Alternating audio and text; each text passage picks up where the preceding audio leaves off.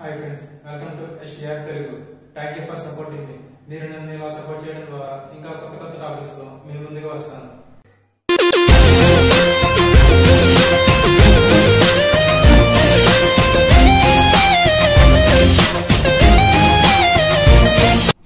ఈరోజు quadratic forms మీద ఒక ప్రాబ్లం చేద్దాం.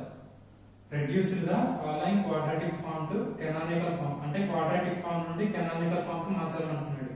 బై ఆర్థోగోనల్ ట్రాన్స్ఫర్మేషన్ అంటే ఆర్థోగోనల్ ట్రాన్స్ఫర్మేషన్ యూజ్ చేసుకుంది and also find the rank index and signature of the quadratic form అంటే ఈ క్వాడ్రాటిక్ ఫార్మ్ ఇచ్చారు కదా. ఈ క్వాడ్రాటిక్ ఫార్మ్ నుండి మనం కెనానికల్ ఫామ్లోకి మార్చాలన్నమాట. బై యూజింగ్ ఆర్థోగోనల్ ట్రాన్స్ఫర్మేషన్ అలానే ఈ క్వాడ్రాటిక్ ఫార్మ్ యొక్క rank index signature and nature కూడా కనుక్కోవాలి. అది ఎలానో చూద్దాం. Given equation is q1 is equal to 3x1 square plus 5x2 square plus 3x3 square minus 2 x1 x2 plus 2 x1 x3 minus two x two x three వచ్చింది కదా? ఈ quadratic ఈక్వేషన్ని మనం మ్యాట్రిక్స్ ఫామ్లో రాసుకుందాం. అంటే ఏ మ్యాట్రిక్స్ తీసుకుందాం. సో ఏ అనే matrix నుండి మనం మ్యాట్రిక్స్ ఫామ్లోకి ఎలా రాసుకుంటామంటే ఇక్కడ ఎక్స్ వన్ వన్ టర్మ్ వచ్చింది. ఇక్కడ x one two x one three x two one x two two x two three x three one x three two x three three so ఈ విధంగా మనం ఈ క్వాడ్రాటిక్ ఫామ్ని తెచ్చుకుంటాం అనమాట ఇప్పుడు ఎక్స్ వన్ వన్ అంటే ఎక్స్ వన్ స్క్వేర్ యొక్క కోఎఫిషియంట్ అనమాట అంటే త్రీ త్రీ ముందు డయాగ్నల్ మ్యాట్రిక్స్ రాసుకుందాం. ఎక్స్ టూ టూ అంటే ఎక్స్ టూ స్క్వేర్ యొక్క కోఎఫిషియంట్ ఫైవ్ అలానే x x three three x three three అంటే ఎక్స్ త్రీ స్క్వేర్ యొక్క కోఎఫిషియంట్ త్రీ ఓకే ఇప్పుడు ఎక్స్ వన్ టూ వచ్చింది. ఎక్స్ వన్ టూ అంటే ఇక్కడ x one into x two ఉంది కదా. దీని కోఎఫిషియంట్ వచ్చింది బై టూ చేసి మనం చేయాలన్నమాట. ఎందుకంటే బయట చేస్తామంటే ఇక్కడ ఎక్స్ వన్ టూ ఉంది ఇక్కడ ఎక్స్ టూ వన్ ఉంది. సో ఈ రెండింటికి డివైడ్ చేసి బై టూ చేసి రాస్తాం అనమాట అంటే x one two is equal to minus two ఉంది కదా మైనస్ టూ బై టూ ఎంత? Minus one so minus one అనేది ఎక్స్ వన్ టూ కి రాస్తాం ఎక్స్ టూ వన్కి రాస్తాం. మైనస్ వన్ మైనస్ వన్ అలానే x one three x one three కి two so x one three కి ఎక్స్ త్రీ వన్కి రావాలి కాబట్టి బై టూ చేస్తాం. అంటే వన్ వన్ అలానే x two three x two three అంటే x x two x three coefficient minus two అనేది బై టూ చేసి ఎక్స్ టూ త్రీ ప్లేస్లో ఎక్స్ త్రీ టూ ప్లేస్లో రాస్తాం అంటే ఏమొచ్చిందంటే minus one minus one so మనకి క్వాడ్రాటిక్ ఫార్మ్ నుండి ఏ మ్యాట్రిక్స్ వచ్చింది? సో మనకి ఇక్కడ ఏ మ్యాట్రిక్స్ వచ్చింది కదా? క్వాడ్రాటిక్ ఫార్మ్ నుండి ఏ మ్యాట్రిక్స్ని ఏం చేస్తామంటే ఇప్పుడు క్యారెక్టరిస్టిక్ ఈక్వేషన్ కింద రాసుకుందాం.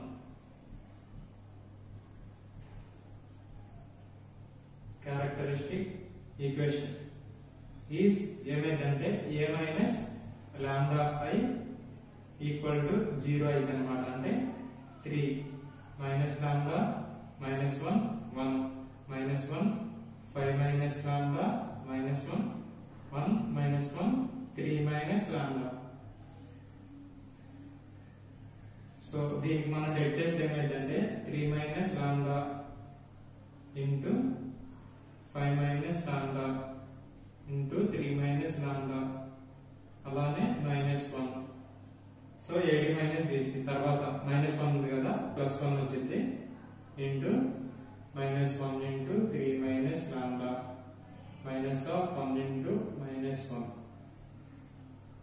ఓకేనా? ఆ తర్వాత plus one into one minus of five minus lambda is equal to zero so ఇప్పుడు మల్టిప్లై చేస్తే three minus lambda into five three fifteen అలానే ఇక్కడ త్రీ మైనస్ త్రీ లాండా వచ్చింది. మన తర్వాత ఫైవ్ లాండా వచ్చింది. అంటే minus five minus minus eight lambda వచ్చింది. తర్వాత plus lambda square minus one. Plus one into minus three plus lambda plus one. Plus one into one minus five plus lambda is equal to zero. అలానే three minus. So ఇప్పుడు మళ్ళీ multiply చేస్తే ఏమైందంటే three five three fifteens ఎంత అయిందంటే forty five అయితే forty five minus eighty twenty four lambda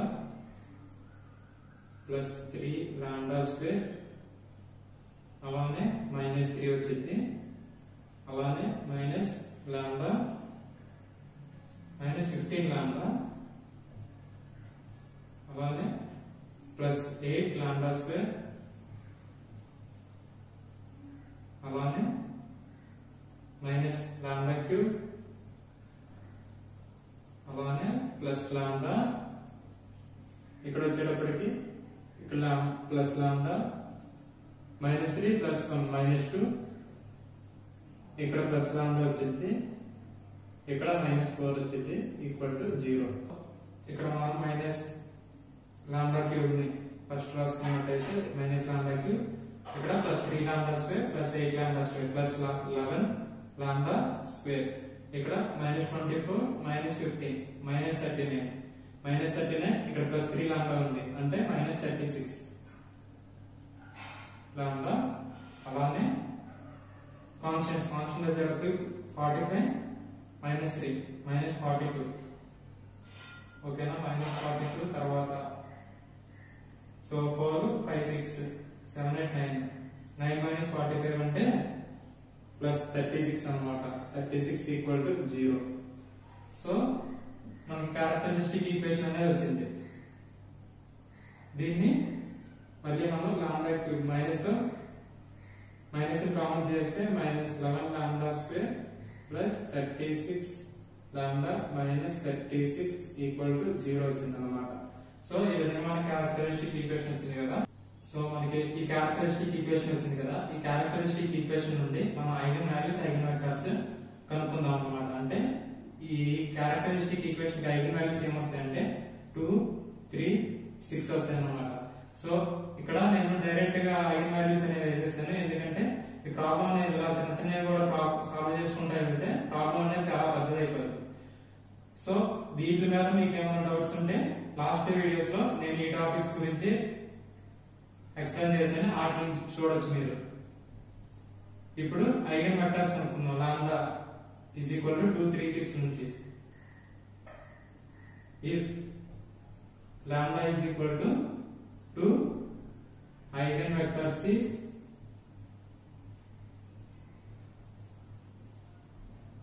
ఇవి కూడా ఎలా కనుక్కోవాలని మీకు లాస్ట్ క్లాస్లో చెప్పాను. సో వీటిని కూడా నేను డైరెక్ట్గా వేస్తున్నాను లాండా టూకి వచ్చేటప్పటికి ఐగన్ వాల్యూస్ ఏమొస్తాయంటే మైనస్ వన్ జీరో వన్ వస్తాయి అనమాట సో నేను డైరెక్ట్గా చేశాను? మీకు ఏమైనా డౌట్స్ ఉంటే లాస్ట్ క్లాస్ లాస్ట్ టాపిక్స్ అనేది మీరు చూడొచ్చు దాంట్లో క్లియర్గా ఎక్స్ప్లెయిన్ చేశాను lambda is equal to three. వీటికి ఐగన్ వాల్యూస్ ఏమొస్తాయంటే ఐగన్ వెక్టర్స్ వచ్చేటప్పటికి lambda two is equal to so దీని నెక్స్ట్ వన్ అనుకున్నాం వన్ వన్ వన్ వస్తాయి అలానే లాండా త్రీ లాండా సిక్స్ సిక్స్కి ఈ సిక్స్కి eigen value vectors ఏమొస్తాయంటే x three is equal to one minus two one వస్తాయి అన్నమాట. సో మన ఐగన్ వెక్టర్స్ వచ్చినాయి ఐగన్ వాల్యూస్ వచ్చినాయి. ఇప్పుడు ఏం చేస్తామంటే length of eigenvectors length of eigenvectors is so ఈ లెంత్ని ఎలా కనుక్కుంటాం అంటే మనం x1 ఫస్ట్ ఐగన్ వెక్టర్ యొక్క లెంత్ని ఎలా కనుక్కుంటాం అంటే స్క్వేర్ రూట్ ఆఫ్ ఈ మూడు వీటిని హోల్ స్క్వేర్ చేయాలన్నమాట. అంటే minus one whole square plus of zero whole square plus one equal to root of one plus one equal to root two వచ్చింది. అంటే length of the eigenvector of x one ఎంత వచ్చిందంటే మనకు మై root two వచ్చిందనమాట ఇప్పుడు అలానే X two చేద్దాం. ఎక్స్ టూ చేస్తే ఏమైందంటే ఇక్కడ one whole square plus one whole square plus one whole square is equal to root one plus one plus one equal to root three వచ్చింది అనమాట అలానే ఎక్స్ త్రీ యొక్క లెంత్ వచ్చిందంటే root of one whole square plus of minus two whole square plus one whole square equal to root of one plus four plus one equal to root six వచ్చింది. So మనకి ఇక్కడ eigen values వచ్చినాయి eigen vectors వచ్చినాయి length of the eigen vector కూడా కనుక్కున్నాం. So మనకి eigen vectors వచ్చినాయి ఇవి వచ్చేటప్పటికి ఐగన్ వెక్టర్స్ ఇది వచ్చేటప్పటికి length of the eigen vectors అంటే వీటి యొక్క లెంత్ అనేది ఇది. ఇప్పుడు ఏం చేస్తామంటే నార్మలైజ్డ్ ఐగన్ వెక్టర్స్ చేస్తాం. నార్మలైజ్డ్ ఐగన్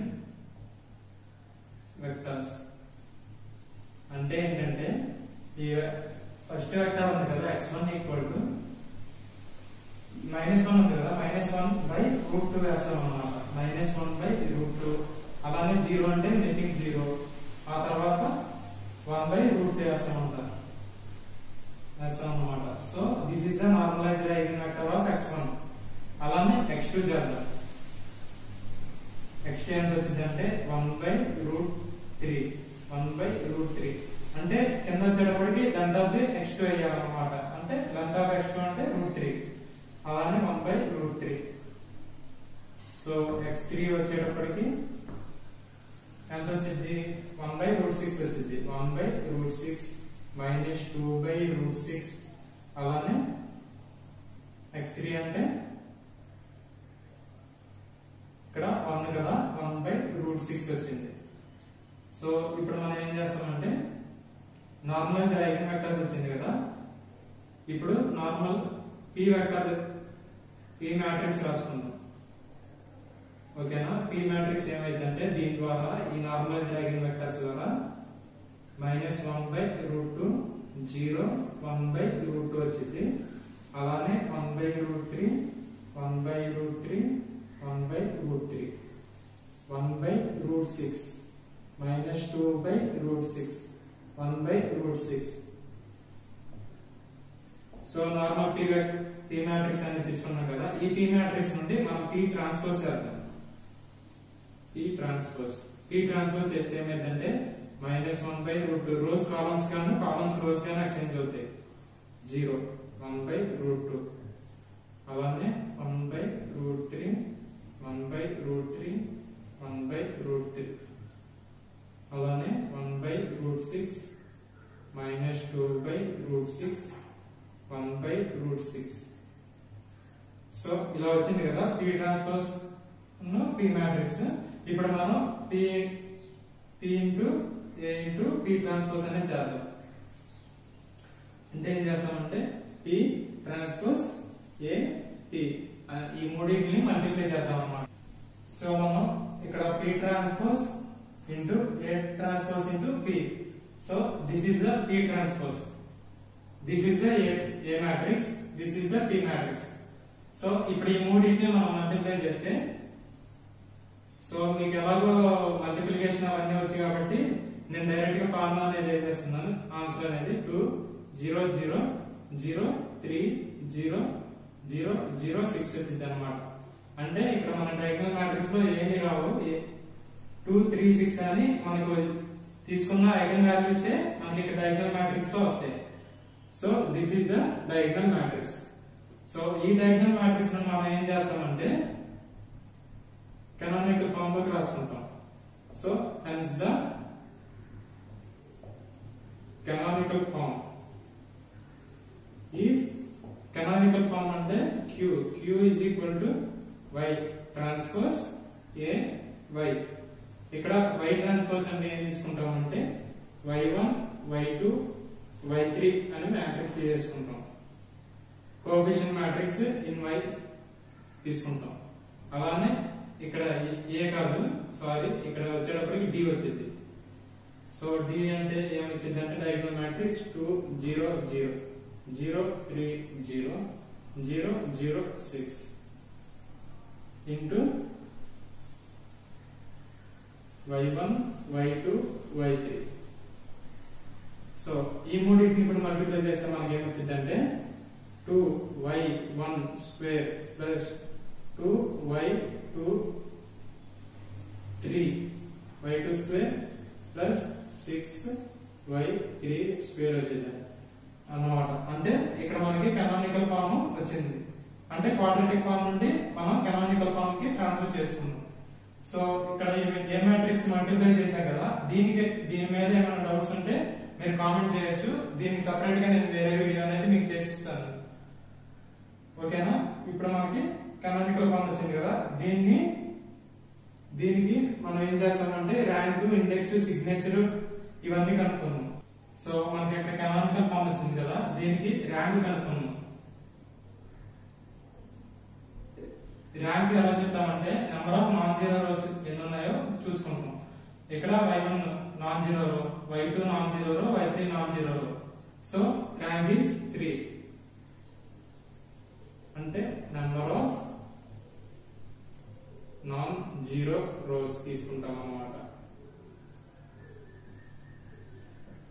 అలానే ర్యాంక్ తర్వాత ఇండెక్స్